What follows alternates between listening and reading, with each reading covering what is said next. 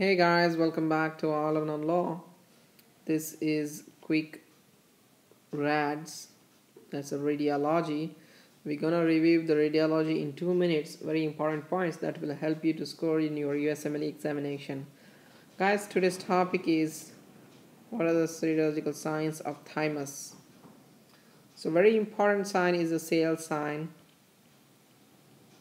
What's a sail sign? The thymus has a characteristic triangular shape known as the sail sign okay? Just google the images guys. You will remember for a longer time if you see this okay? Then we have another one. That's a wave sign of Mulvey okay? That's the indentation on a soft thymus due to ribs okay? And other is a notch sign.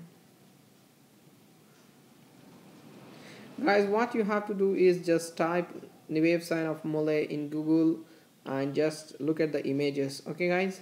So you will remember for a longer time. Thank you so much for watching this video. Take care